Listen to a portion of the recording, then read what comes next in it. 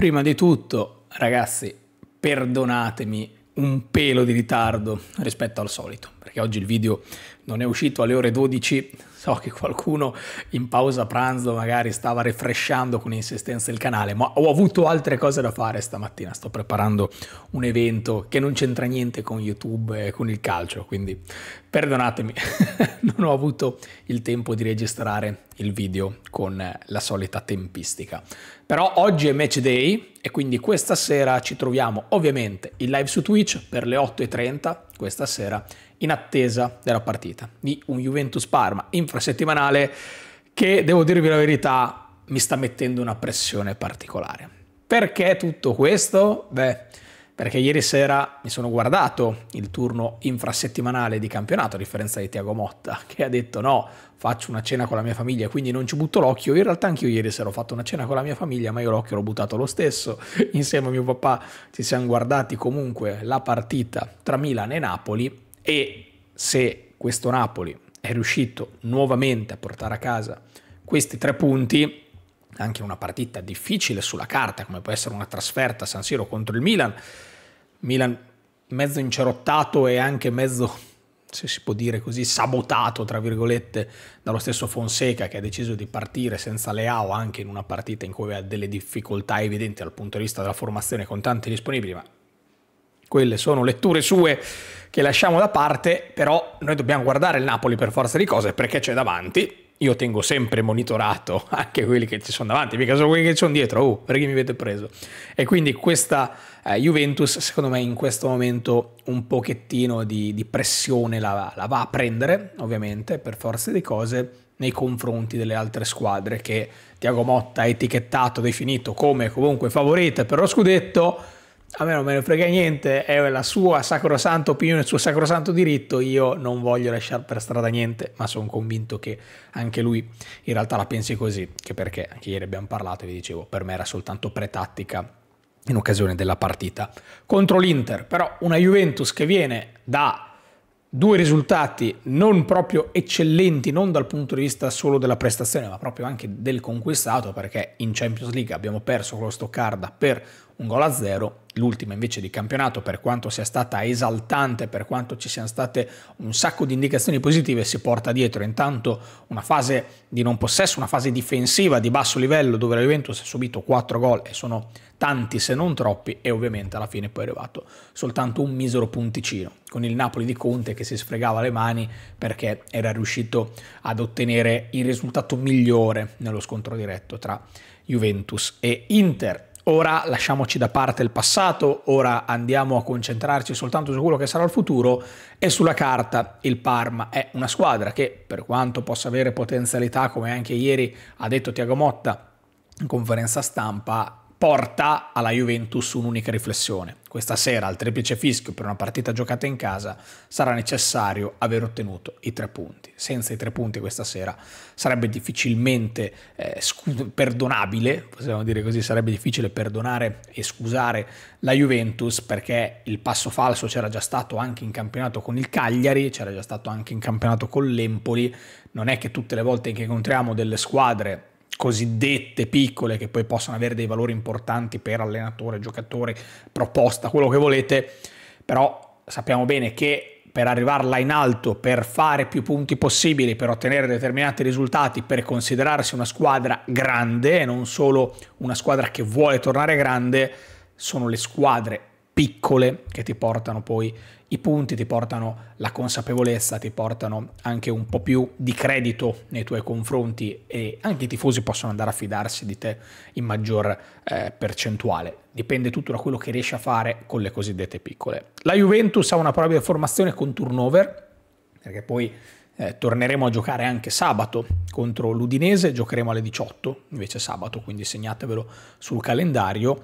La formazione della Juventus segue un pochettino quello che è stato il filo conduttore che ha portato alle scelte con l'Inter, quindi una Juve che dovrebbe schierarsi con una sorta di 4-3-3 che può ovviamente diventare 4-2-3-1 in determinati momenti della partita, dove vediamo Di Gregorio tra i pali, anche se qua insomma, il ballottaggio con Perini è sempre aperto, è sempre attivo, Cambiaso sulla destra, Cabal sulla sinistra,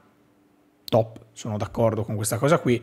Al centro Gatti che torna titolare dopo due partite in cui non aveva giocato e voi direte l'ultimo posto di Calulu no e di Danilo. Io credo che sia giusto così. E qualcuno potrà dirmi, ma come? Sei stato tutto il tempo a dirci che Danilo non è pronto, non può giocare in questa Juve, che non deve essere titolare? Ma lo confermo, assolutamente. Però dico anche, dall'altra parte, che Calulu non ne può far tutte. Da quando Bremer si è fatto male, Calulu non ha potuto saltare praticamente neanche la doccia nel, nell'allenamento che l'ha dovuta fare alla Continassa, non ha potuto fare a casa. Adesso sto estremizzando, ovviamente, però Calulu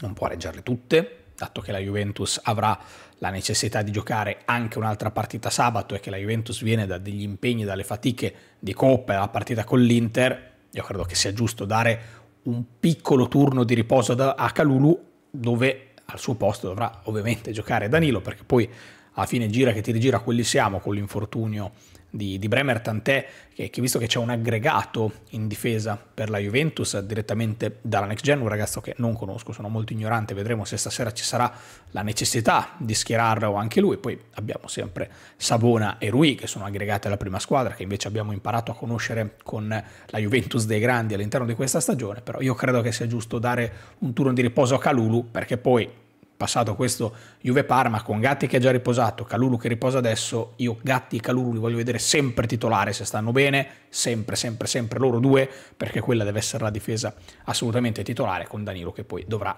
entrare all'interno delle rotazioni di partite infrasettimanali proprio come questo Juventus-Parma.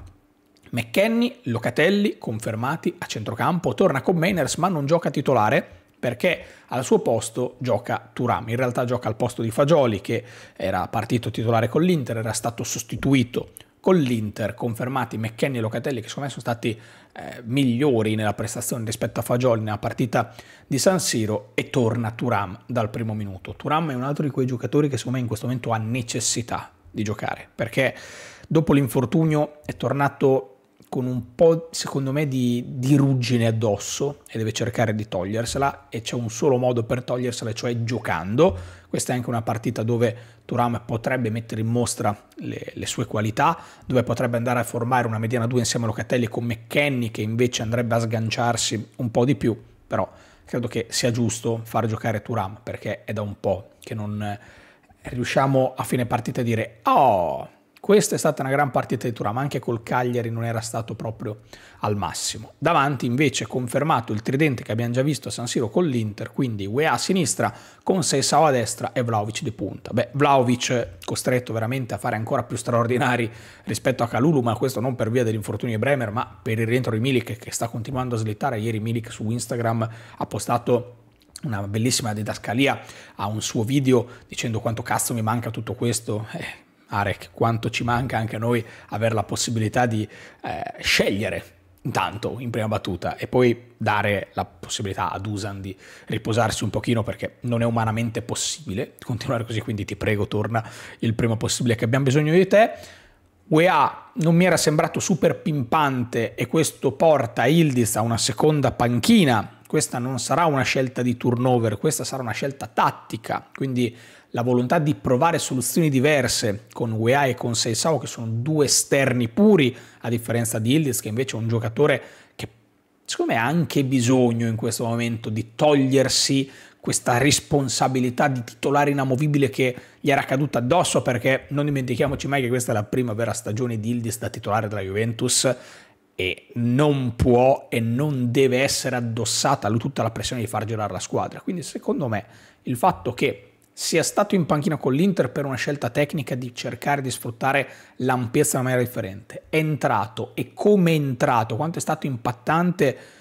può essere una scelta molto interessante di Tiago Motta che ovviamente non sta bocciando il ragazzo, gli sta dicendo ora hai la possibilità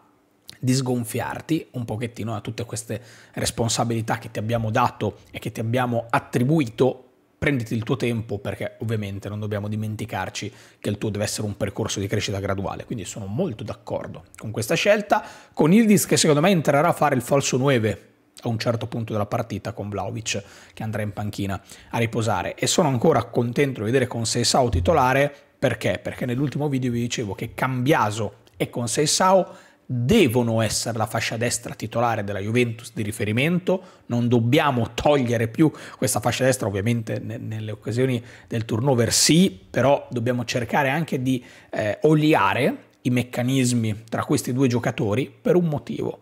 perché sono per qualità e per incastro tecnico veramente due giocatori che possono diventare la corsia di riferimento per la Juventus, un po' come è stato Teo e Leao per il Milan, dove sono stati costruiti dei successi come lo scudetto o come un percorso in Champions fino alle semifinali nell'anno in cui sono usciti poi nel derby d'Italia, anzi nel derby di Milano con l'Inter, dopo aver eliminato anche il Napoli dello scudetto, quello perché Teo e Leao sono diventati una corsia, una fascia, un punto di forza del Milan che noi alla Juventus non avevamo ancora trovato.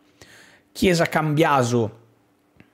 è sembrato qualcosa che poteva funzionare, Cambiaso con Seisao mi sembra veramente qualcosa di troppo naturale per non sfruttarlo al 100%. E dato che con l'Inter abbiamo visto una partita fortemente indirizzata sulla fascia destra per la Juve, sono convinto che anche oggi sarà così e con la possibilità di lasciare UEA e Cabal con anche un, un, po' meno attenzione da parte dei giocatori che dovranno marcarli e quindi più possibilità di far male dalla parte sinistra. Queste sono le mie considerazioni, fatemi sapere se siete d'accordo con quanto vi ho detto, aspetto i vostri commenti qui sotto nell'apposita sezione e noi ci vediamo stasera in live e con tutti i contenuti poi post partita qui sul canale YouTube. Ciao a tutti!